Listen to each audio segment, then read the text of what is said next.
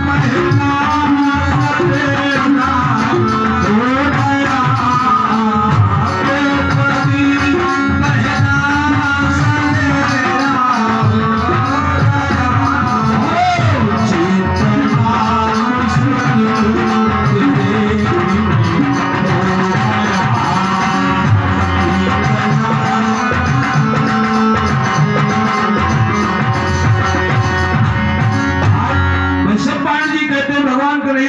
कन्हैया द्रौपदी के शिविर में पहुँच गए। जहाँ द्रौपदी सो रही थी, धीरे से आवाज़ लगाई, द्रौपदी बहन, उठो! सवेरा हो गया। द्रौपदी हाथ गड़बड़ा करके उठी। कहने लगी, कन्हैया, बाहर निकली, शिविर के देखा अंधेला कहा, क्यों लगाया कन्हैया तुमने हमको? भगवान कन्हैया ने कहा, बहन द्रौपदी, तुम्हारे बिना ये महाभारत का युद्ध है। अब हमसे जीता नहीं जा सकता। द्रौपदी रोने लगी, कहने लगी, कन्हैया, क्या बात? तो कन्हैया ने कहा, सुनो बहन, आज भीष्म पितामह ने प्रण किया है कल पाँच पतियों में से एक पति तुम्हारा मारा जाएगा। पाँच पतियों में से एक पति मारा जाएगा और भीष्म पितामह ने प्रण किया है। हे बहन, सुनो, आज हमको भी नींद नहीं आ रही। और कन्हैया रोने लगे, कहने लगे, सुनो बहन, कि रक्षा मैं उनकी कैसे करूँ? अरे बहन, हम तुम्हारे पतियों की रक्षा कैसे करें? कि रक्षा मैं उनकी कैसे करूँ? युक्तियाँ सोचते जाते हैं, उठते हैं और बैठते हैं, नहीं चैन घड़ी भर पाते हैं। इसलिए बहन, तुम हमारे साथ अभी अभी रात में चलो। बड़ी धीमी धीमी आवाज़ से कहा, द्रौपदी ने कहा, भैया, अगर कोई रात में देखेगा ना कि ये द्रौपदी पर पुरुष के साथ में रात में जा रही है तो हमारे चरित्र के ऊपर कलंक लगेगा, भैया.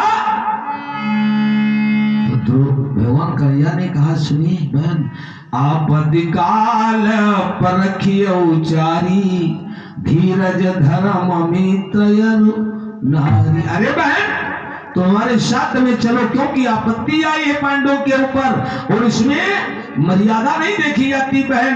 आज द्रौपदी भगवान कन्हैया के पीछे पीछे चल देती, लेकिन भगवान कन्हैया ने ये थोड़ी बताया था कि कहा लिए चल रहे तुमको। आज देखिए जब भगवान कन्हैया चले द्रौपदी को लेकर के ना तो द्रौपदी जो चप्पलें पहने हैं, उनकी आवाज़ आ रही। है भगवान कन्हैया ने कहा, सुनो बहन तुम्हारी चप्पलों की आवाज़ आ रही है ना कि हम चुपके से चल रहे हैं? अगर कोई कौरव के दल का देख लेगा या सुन लेगा कि द्रौपदी आज रात में कन्हैया के साथ कहा जा रही है? तो हो सकता है जा, ये बात तो चर्चित तो हो जाए। इसलिए बहन तो अपनी चप्पलें जल्दी से निकालो।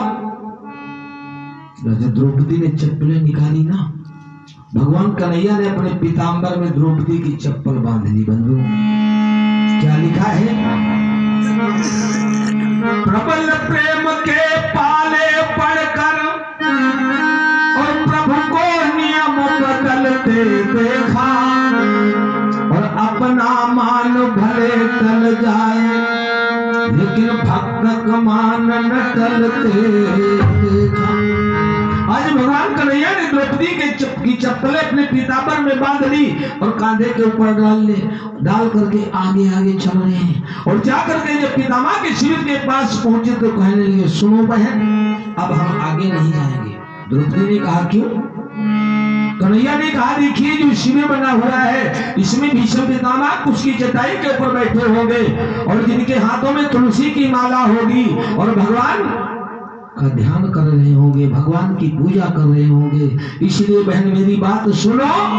द्रौपदी ने कहा, कहो भैया, क्या हम करें? तो कन्हैया ने कहा, सुनो बहन, कि पहले परिचय की बात न हो। तुम भीष्म पितामह के शिविर में चली जाओ बहन, ना। और जा करके पहले अपना परिचय मत बताना। और जो पहले परिचय बता दोगी, ना तो पितामह तुम्हें आशीर्वाद देंगे ही नहीं। क्योंकि वो ये समझेंगे जब भैया जय हो। ये समझेंगे कि भानुमती आई। तो क्या कहते हैं पितामह, सुनो। कि पहले परिचय की बात न हो। और तुम सारा काम सिद्ध कर लो। बहन, और भीषम बाबा के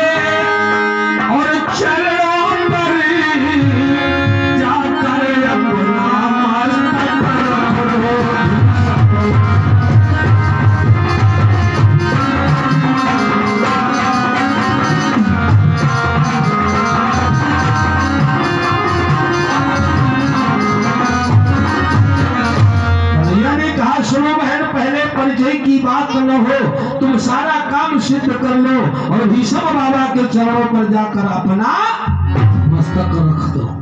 और जब तक आशीर्वाद न दे बहन ना तब तक मस्तक ऊपर मत उठाना। और जब ऊपर मस्तक कहीं उठा दिया तो जान जाएँगे, द्रौपदी आई है तो तुमको आशीर्वाद नहीं देंगे। और मस्तक अगर उनके चरणों पर रखे रखे रहोगी बहन तो यही जानेंगे, भानुमती आई है। आज देखिए भगवान कन्हैया वैष्णव जी कहते हैं, शिविर के बाहर रुक गए और द्रौपदी बड़े प्रेम से जाती है पितामा के शिविर में और पितामा बैठे आँखें नीचे एक हाथ में माला है उसकी चटाई के ऊपर भगवान का ध्यान कर रहे हैं। प्रेम से बोले रामचंद्र भगवान की आइए बंधु, सभी लोग इस समय दो बार प्रभु का नाम लेंगे, उसके बाद आगे की कथा अपनी सुनिए। सभी कहेंगे, कि हरे रामा हरे रामा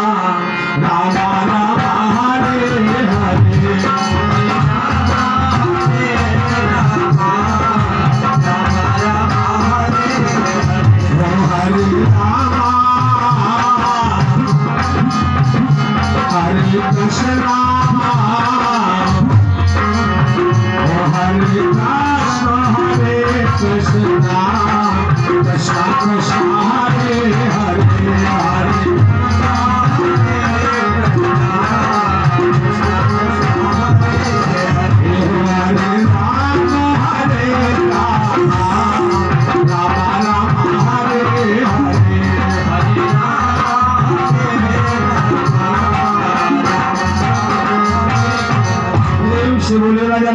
रामचंद्र भगवान की जय हो। आ जाइए पांड जी कहते हैं, द्रौपदी जाकर के और भीषम पितामह के शिविर में पहुँची। भीषम पितामह कुछ की चटाई के ऊपर बैठे, जिनके हाथों में क्या है, माला है, और भगवान का ध्यान कर रहे हैं। द्रौपदी ने जाकर के अपना मस्तक भीषम पितामह के चरणों के ऊपर रख दिया वैश्वपायन जी कहते हैं, सुनो, राजन, भीषम पितामह ने यही समझा कि भानुमती आई। आँखें ही नीचे, आँखें नीचे नीचे, उन्होंने आशीर्वाद दे दिया। क्या? कि सौभाग्यवती हो बेटी। और सिंदूर से बागन खाली हो।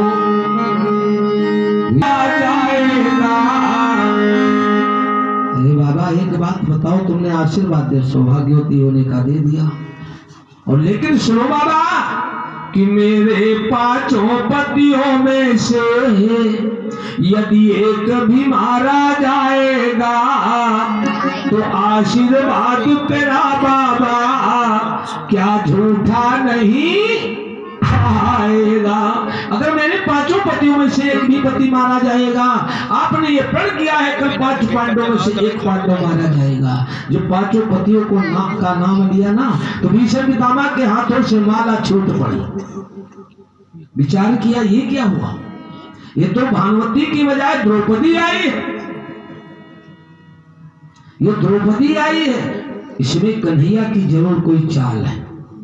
भीषण पितामा जी सोच रहे हैं, आज देखिए इतना दुखी है, उनके आँखों से आँसू चल रहे हैं। द्रौपदी बार बार कह रही बाबा कि मेरे पाँचों पतियों में से?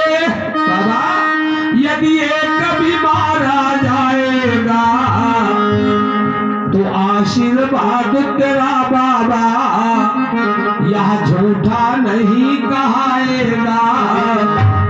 आज बार बार द्रौपदी ने कहा पितामा के शब्दों के द्वारा आवाज़ इनकी कहा, बेटी, तेरे इन प्रश्नों का बेटी और पीछे उत्तर दे पाऊँगा। और जो तुम पूछ रही हो मेरे पाँचों पतियों में से यदि एक भी मारा जाएगा तो ये प्रश्नों का उत्तर हम बाद में देंगे। लेकिन एक बात बताओ, तुम किसके साथ इस अर्धरात्रि में आई हो? भीष्म पितामह ने द्रौपदी से कहा, तुम किसके साथ में आई हो? तो द्रौपदी ने कहा, बाबा, हमारे साथ में एक दासी आई है। दासी आई है, दासी के साथ में हम आपकी शरण में आई है। तो रोने लगी द्रौपदी, क्या कहती है, सुनो। कि सुन ले, पुकार लाई। आज द्रौपदी पितामा के चरणों को पकड़ लेती है और क्या कहती है?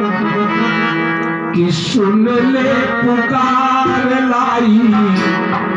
आज तेरे द्वार लेके आंसुओं की धार मेरे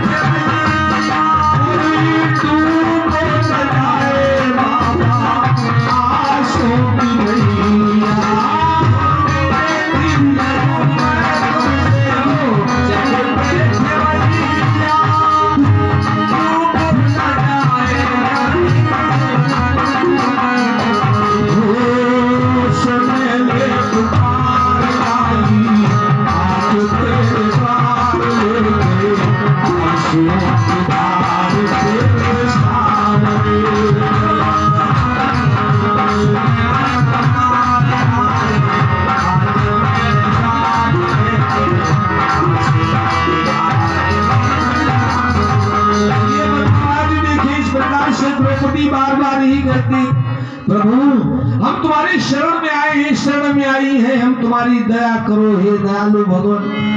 पितामह ने कहा, बेटी, अभी इन प्रश्नों का उत्तर तो हम बाद में दे पाएँगे। आज विषय में तामा उठ करके खड़े हो गए और क्या जैसे अपने शिविर के बाहर आए तो क्या लिखा हमारे विद्वानों ने? है कि कुटिया के बाहर देखा तो हो, और ड्योढ़ी का दृश्य निराला था, और पीताम्बर का घूंघट मारे बैठा वो वाला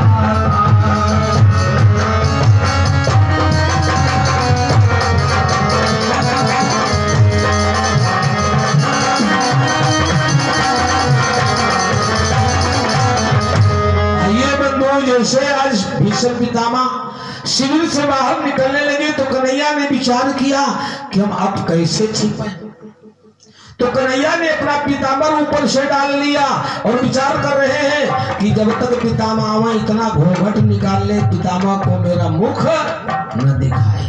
लेकिन पीताम्बर की तो बंधु लंबाई चौड़ाई की सीमा है ना? जैसे जैसे बाहर आ रहे पितामा उतने कन्हैया नीचे को घूंघट काट रहे। जब तक पितामा जी बाहर आए तब तक इतना घूंघट काट लिया कि पिताम्बर आगे गिर गया। कन्हैया बिल्कुल चपरे मई थे। प्रेम से बोलिए भक्त और भगवान की। आज जैसे पितामा ने कन्हैया को देखा कहा कन्हैया तुम बहुत बड़े नटखट हो। जीवन में तुमने चोरी की ना, लेकिन आज भी चोरी की